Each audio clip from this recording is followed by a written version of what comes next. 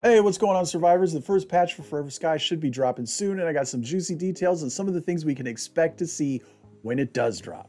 So the devs have been busy dropping some sneak peeks over the last week or so for what we can expect on the first patch to hit the game sometime in July. And I gotta say, so far it is looking pretty good.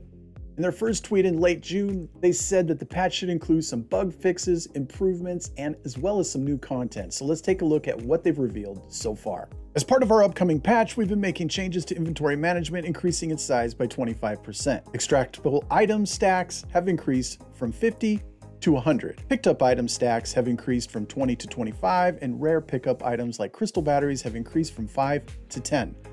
But that's not all. We've also increased the number of slots from the small storage box and hanging shelves. You see those both down below. You got the backpack and the hanging shelf, and it looks like they've added an additional six slots to the hanging shelf, which is actually pretty nice. Changes are also coming to the auto extractor in the upcoming patch, giving players more control.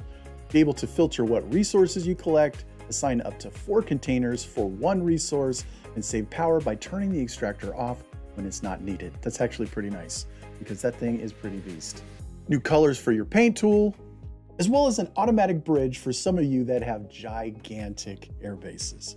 That's all the latest news for now, but make sure you hit that subscribe button to stay up to date on all the latest guides, news, and everything to do with Forever Skies. I'm Granddaddy Gamer. Thank you guys so much for watching, and I'll see you next time.